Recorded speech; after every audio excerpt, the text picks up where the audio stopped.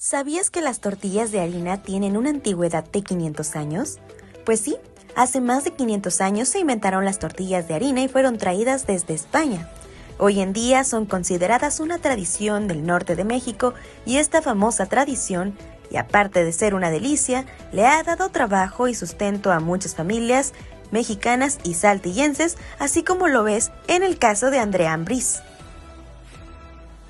Tengo ya cinco años, cinco años de hacer tortillas. Este, decidí hacerla pues porque ya no me quedaba de otra, no tenía trabajo.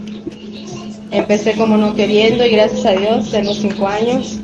Empezamos a trabajar aquí como no queriendo, o sea, yo no tenía para, para surtir mi inversión, pero empecé con el, con el sueldo de mi esposo. Empecé haciendo 10 kilos y ahora eh, a la semana eh, logré los 30 y luego ahora ya con mis compañeras que tengo aquí trabajando conmigo, que son dos, hacemos 60 kilos diarios y pues los vendemos nada más aquí, yo no tengo entregos a tiendas y pues gracias a Dios me ha ido bien, todo lo que hago es que pues se vende. Y pues gracias también a la gente que, que les gustaron. Con imágenes e información para tiempo.tv, reportó Alejandra Vigil.